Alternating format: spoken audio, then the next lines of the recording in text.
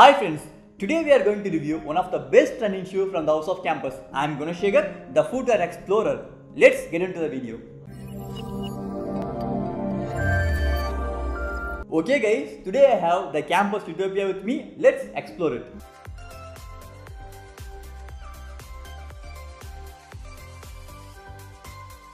First of all, the product design is the biggest advantage for this shoe. So, design wise, it looks great. Comfort is the main factor for running shoes, so we can't compromise it. In this product, Campus used only the premium quality material to build. The entire upper material is made up of synthetic mesh fabric. This is one of the most promising upper material for running shoes. In this shoe, the inner lining made up of density cushion along with skin friendly fabric.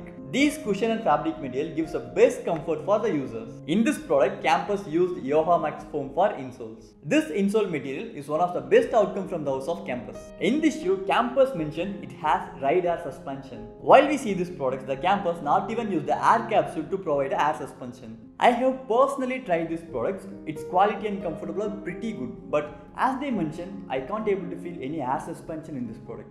This product sole design is very unique. Also, it's made up of phylon material.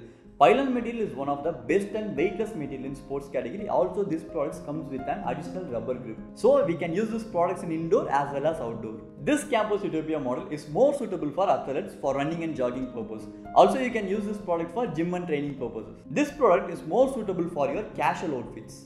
The only drawback in this product is its sole material has more cavity so it will shrink easily compared to the normal solid phylon sole. So from GTrendz we provide 8 out of 10 for this product. This product comes with 6 to 10 Indian standard size category also it's cost around 2300 rupees. Okay finally if you ask me this Campus Utopia model is worth for 2300 rupees. My personal opinion is I can get the same material combination from the same brand at the rate of 1300 rupees. Only for that unique sole design if you want to pay 1000 rupees extra it's completely your choice. Okay guys, stay tuned for more footwear related videos and reviews.